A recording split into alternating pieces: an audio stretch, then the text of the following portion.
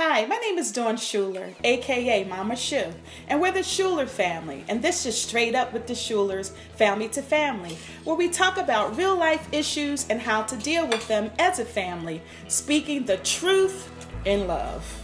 Welcome to the family.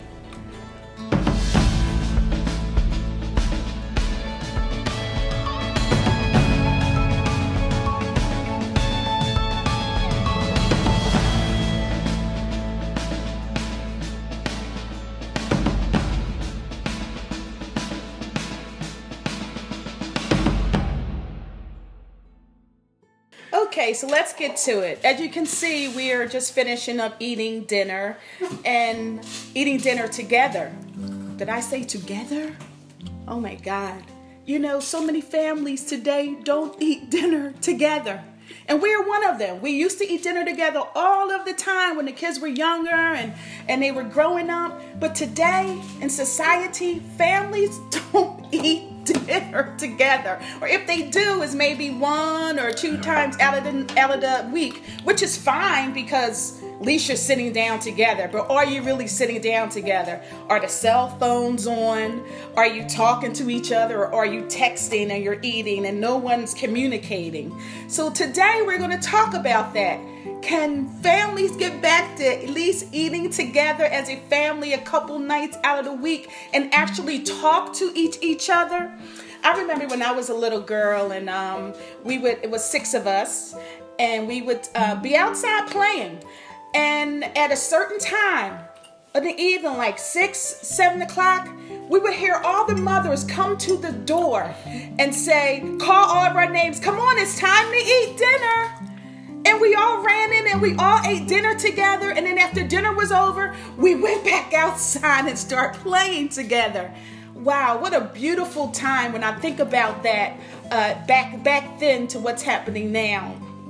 And so we just want to talk about how we can take away all the things that would stop a family from stopping everything and eating dinner together. And again, I know some of you may have young younger children, which is great because it's a great time to start, you know, implementing that and making sure that at least a couple nights out of the week you're eating dinner. I know a lot of us you do sports, whether it's baseball, this is baseball and football and all the cheer and all these things that we do in our children's and activity they are in, involved in.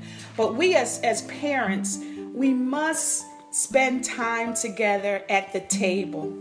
And you know, when you look at the old movies, or even um, I like this really telling my age now, like Leave It to Beaver. they laughing at me. Where you know they sit and they have dinner and they talk about things that's going on. You know, back to the kid. If you want to know what's going on, then you got to sit down with them. And what better place than to sit down at the table and ask, well, how did your day go, Diamond? What did you learn in school, or did something happen that was, you know, all of these particular things. So I just think that it's so important. I learned a lot of things from my children at the dinner table. I learned that there are phases in children's lives when they're growing up that they feel that the parents are just stupid. They know nothing. And the only person that knows something is the teacher. I don't know how many of you parents have experienced that, but my, my kids, but my teacher said this, and my teacher No, said that. I'm like, look, I'll tell you, this is how, you know, they don't listen to us at one point because all they listen to is their teachers, which is fine. Teachers should be e- examples, but I'm just saying, I kind of dealt with that at our dinner table, talking about things that the teacher was always right, the parent just wasn't. So I just want to open up the, the table and just, you know, ask what do you guys think that when you raise your children, when you get married, and DJ's getting married soon, and you know, what are you going to do with your family? Like, what what kind of um, what what kind of what's the word I'm, I'm, I'm looking for? Uh, uh, Unity? yeah, no, yeah. What what kind of Kinda things that you structure? Structure, Thank you. yeah, You want to sit for your family that this is what's going to happen.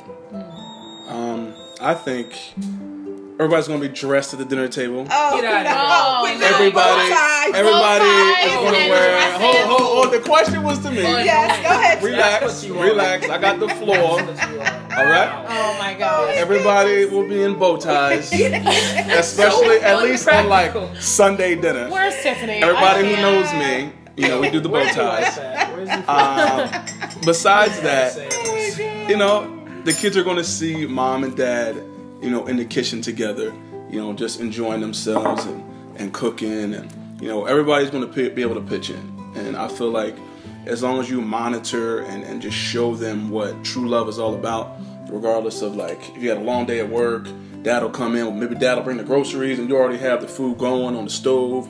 Just really, I don't know, just showing unity and making sure they see like no matter how busy our schedules are, we always take time to be together and eat because sharing a meal and breaking bread is so so important. So that's what I'm going to do, including the bow ties because that's a must. so Grandchildren. Wow. We'll be coming in sweatpants, so Great idea. son. my family. Oh, good. Yep. good, David. What you think? Um, well, I think it's really important for people to realize that it's not so much about um, like a set time every night that you have mm-hmm. dinner because I think that like you touched on earlier, like all of us had very different schedules. You know, between the boys coming home, being on the after school bus, and not getting mm-hmm. home until six thirty, or if the bus was running late, they got back later. And I think that it's important for families to know like work around each other's schedules. So maybe Monday nights you have dinner at six o'clock, but then on Thursdays you might have a late dinner and not till eight o'clock. But you know, working around everyone's schedules or even eating on the go, but as a family, sitting down. If you have to go to Chick fil A, go inside Chick fil A instead of eating your car. Like sit at the table talk to your kids. And I mean, I think that that's something I really want to get to know my kids at the dinner table. Um, one of my friends, I used to eat dinner over their house all the time, and something they did at the dinner table, even though she hated it, but I thought it was like the coolest thing. I was like, oh, this is great. But to like, they um, used to do like tell me like your high and low for the day, and like I've seen that in a lot of different situations. But at the dinner table, I think that that was really cool because it was like your experience to say like, okay, well this was a really rough part of my day, but then it was great at this point. And then you can kind of talk about both sides of it, like why it was so great or why it was so bad and like what you can do to fix that. And it also gives like the parents a window into what the kids' day looked like. It gives them their high points and their low points. Right. So I know that's something I really want to do with my kids and you know, that's, That's just be close to them. That's a good idea. How about you, Matt? Yeah, you guys are all really cute. Really cute. I don't know. I I kind of see it. Don't call me like a pessimist, but I kind of see it differently. Like, I don't know if it's super easy to always get everyone together for dinner. You know, I think even like, um, and I think it depends on your career as well. I mean, I know like for my career, I'm gonna be traveling a lot, so like I'm probably not gonna be able to be home all the time for dinner. But I think it's it's like the reason why I think families get together at the dinner table so you can keep tabs on each other. You know, make sure you That's know what's going it. on Yeah. um, Yeah. in everyone's life because that's you know that's what happens at the dinner table. There's Yeah. discussion that's made. I think like I'm gonna try like make more of an emphasis on that, like to keep a tabs on my children, keep tabs on, on my wife, make sure she's good, my kids are good. Like even even if I can't be at the dinner table, Right. um, but like. I don't know, I want to like be able to FaceTime with them, like just have like a certain like struct structural like set time where I'm like able to like, yo, how is school going, yo? Like, what, what you know the sports that they're playing, or whatever. Like, or if they have any questions, like I want to be really intentional with like you know just my relationships with my family to make sure like you know to supplement things. I mean, yeah, I think it's awesome. Like if you have time, you know, to be able to sit at the table, and I pray you know there will be like there will be times when I'm on tour and times when I'm you know home. Um, and like when I'm home, it's gonna be crazy. No bow ties for for my kids. well, that's that's your fault. That's your with, fault. Like That's not my face fault. paint and dreads and stuff. Okay. Just yeah, it would be great though. And I would yes, yes, it would be free rein. But but yeah, I want to um, you know I want to like be in the kitchen cooking even with my wife, you know. and that's then um, nice. Mhm. and I think like like just being there like help, helping out I think is great. Like you want to spend the most amount of time with with you know the people in your home as, as possible. I think like making sure that you know when you are there to I don't know, help out. Like I'll probably do the dishes, like whatever. Like do, doing dishes, Mm-hmm. Yeah, like it's it's fine with me. Yeah. Because we were raised like if the house wasn't clean and we didn't do the dishes Mm-hmm. when we got home, we would just be But destroyed. he never We does the dishes. I'm Yes, always doing Bro, the dishes. listen, But bro. that's the crazy Since. I've been on my So own, let's talk okay, about that. I do the dishes all the time, and I actually like it now because I feel it's Okay. nice. Well, I to just- walk I just want the clarity, I 'cause your boy understand. over here- No, No 'cause pointing I- at the table. No pointing. I understand what mom was, was, Okay. how she felt all those years coming Right. home, you know, to a dirty kitchen. It's not nice. yes, So- yes. So I, I, Yes. I do the So it took him 24 years. That's showing I mean- That's love language. Aside from you saying you do the dishes, I, I, I just wanted want to listen, food on the listen. I, I just wanted now. to touch on another thing. I think it's really important for people to make sure that dinner is like a fun experience. Like I know for me, I hate being forced to do anything. Tell me to do something like I'm probably gonna have like the worst attitude ever and like Yeah. everyone's gonna be miserable around me. Like I'm gonna make it unpleasant. So I think that you need to make sure like you're having fun at the dinner table. As parents, I think that it's important for you guys to engage the conversation as well. If you're just sitting there eating your food or like staring at your plate and then your kids are staring at you, like you know, you as adults, I feel like sometimes have to like pick it up. And again, with younger kids, like they're gonna talk your ear off regardless. So like, it's just important for the parent to kind of, you know, be interested in what your kid's saying. Like, okay, like they had a rough time on the playground. Like, you know, be interested. That's a big Right. deal to them. You know what I mean? Like that's serious. that's very. Be like, wow, you really is that Uh-huh. what? Like really hype them up because that's important. And I think that like parents, you know. As kids, your world is very small. It's very limited. So the parents need to realize like it's a big deal to them because that's all all their world is. You know, you can see things in a bigger scope, but for mm-hmm. kids, you know, they got maybe five years old. You got a five year old scope. You know, everything is very small to you. Everything is very, you know, school, home, family. Like that's really all you know as a kid. So you know, hype them up, make them feel like what they're going through is important. I think is really Coming from someone who works in childcare. every yes. and then. I love my babies. you can. Love my babies. How about you, honey? Well, I think the experience has been such that we've had so many different occasions because Mm-hmm. I've had to travel a bunch, and uh, but I've made sure that when I'm home that we're all sitting at the table eating together. Yes, Uh, yes. some wouldn't eat all their vegetables. Yes. That's definitely me. I didn't eat vegetables until like last year. Yeah. Some, some would eat all would their cry, food and, and uh-huh. want more, and that would be Yes. TJ. And You some look like you eat- wanted Some more. would eat Yeah. half the plate and, and accidentally touch his stomach, and it all come Uh, up. Stop. And so it was such that a was when I was a baby. Matt, it kind of went. Yeah, I, I, that's only if I get really excited. And you if got I laugh really really, excited really, most of really hard. because it, it was might- usually yeah, very funny. yeah, there was I always was something funny going yeah. on. Having a good. It was Yeah. always something funny. So Yeah. it, it's you know, it was really uh, dinner was such a it was a show.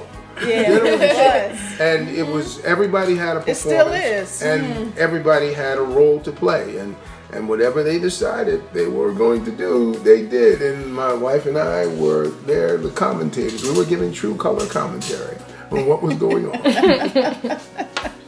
It is so true. I mean, it's so many things. You know, it's again family. I, I just I love my family, and um, anything that we can do together, and and we can make it happen, we do it. And so I would say to all of you who are watching today that you know no per, no family's perfect, you know, and what we're talking about is is is is not something that we have perfected. It's just something that we try to do and uh, we didn't always get it right, you know, but you still try.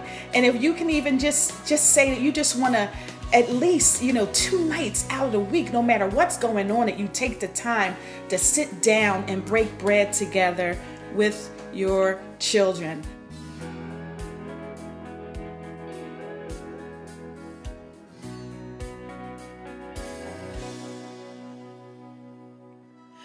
hope you enjoyed this episode of Straight Up with the Schulers, family to family. Again, we're not saying this works for everyone, but hey, this works for us. We aren't perfect. In fact, we are a little crazy, but we're a family. So, whoever you are, wherever you are, and whatever you do, remember we're all here on purpose. God bless.